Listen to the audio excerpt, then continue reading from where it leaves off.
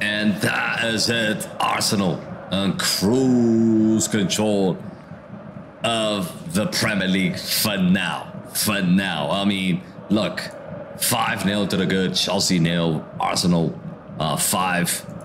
It's, it's an embarrassing performance by Chelsea.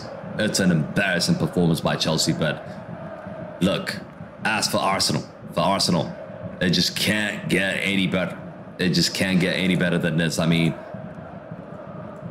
it's, it's a beautiful night for the Gunners. Beautiful night for the Gunners. 77 points now. 77 points for the Gunners. Uh, yes, there are still games to be played by Manchester City, and there's still games to be played by uh, Liverpool. But look, this is a convincing win. As convincing as it can get, really. Uh, let's quickly take a look at the uh, the um, the table. So this is how it's gonna look. I mean, I know the goal difference is 52. It should be more than that, but the points is correct. So 34 games played, 77 points by the Gunners.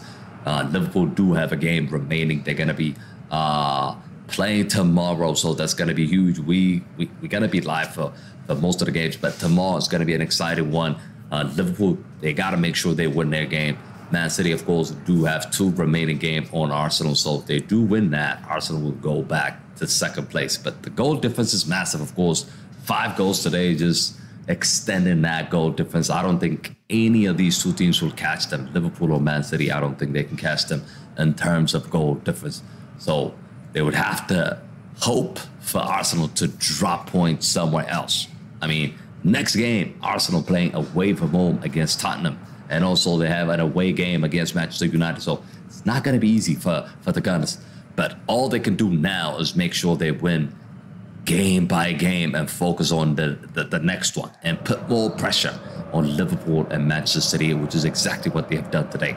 Some people thought, including me, that they could drop points tonight, but it was a convincing and emphatic win by the Gunners.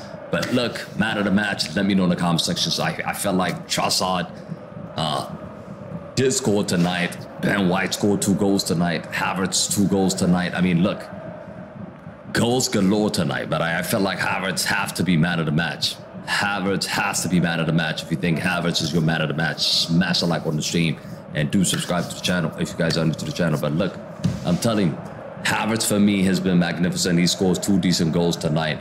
Uh, it has to be him. Ben White scored two as well.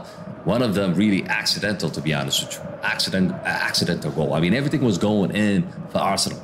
You would you would think if they just take a shot from from halfway line, it would just go in. It's one of those days. Everything went in.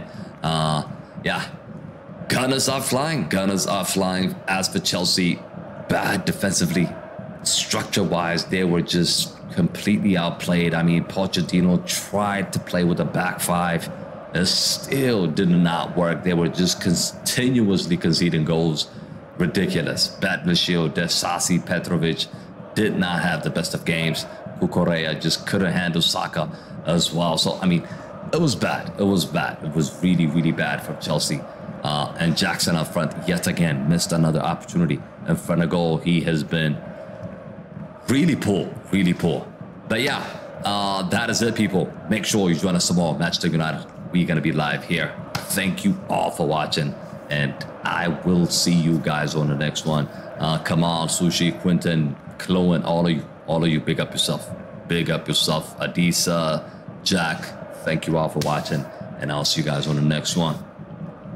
Peace.